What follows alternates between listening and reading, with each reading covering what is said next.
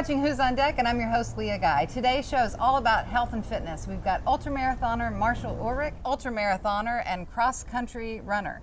Thanks for you, having Marshall? me. Thanks for being on the show. He's not a cross country. I mean, that's what we call it, cross country in high school. But he ran across the country.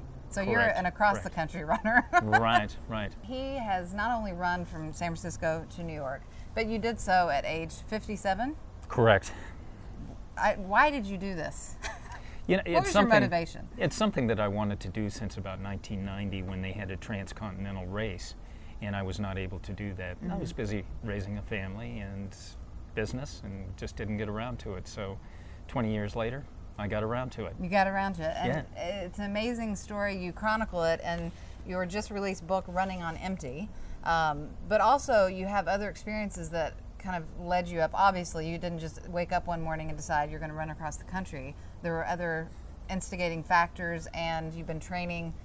You've been running up mountains and across Death Valley. Have you always been an athlete? Is I, I haven't been an athlete all my life. At 28 years old, my wife was diagnosed with cancer. Mm. 30 years old, she passed away.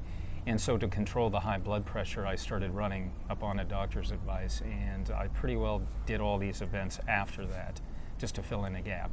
was it just uh, an experience that you, you felt emotionally and physically was causing the new turmoil and it was your escape to obviously it's good for you It, yeah, it, it was an escape. And uh, I, am brutally honest within the book about uh, just the fortitude it took to stay with her. And then there were times when I was weak and, and couldn't stay with her that I'd have to go out and do something, or emotionally I couldn't hold myself together. Mm. So that's those are those times when I'd go out and run, and I'd find solstice in that. And sometimes I'd just duck behind a bush and cry my eyes out. Mm-hmm. But I, I wanted to remain strong for her Mm. in her face. how many years after her passing did you continue the escape into the running and exercise Pretty much for two and a half decades. So I moved from ultra running into adventure racing.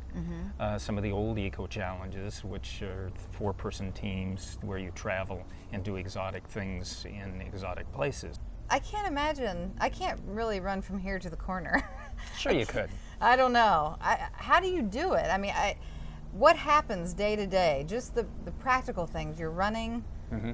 Did you have a camera crew with you? Did you have people I with did. you? I did. There was a documentary, it's called Running America, that was produced out of this. So there was a seven person crew that followed me across, plus a crew of at least four people that were with me, and they would do it in two shifts. They'd crew me every mile for, say, nine hours per day, and then another crew would come on and do the, the next eight or nine hour stint. So I was running about 17, 18 hours per day. I, I was running about 60 miles per day. Mm-hmm. So they'd pull up 60 miles.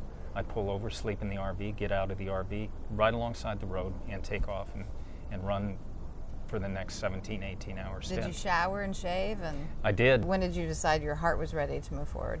You know, I don't think I really knew that it was until I saw Heather, my current wife, and that was almost 10 years ago. We've been married for eight years. Uh, but she just seemed to understand. She was patient with me. Uh, she was totally on board with, you know, this grieving process that I really had never addressed. And But at this point, you've been at what 20 years? yeah, 25 years. Wow. And so she she taught me how to love again. Well, I uh, enjoy your book, and I encourage those, whether you're a runner or not, it's inspirational.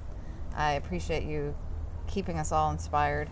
Although I don't know that I'm going to do that mile run without you, so you might have to stay on me. We'll do a relay. okay, that's a good idea. We'll do a block at a time.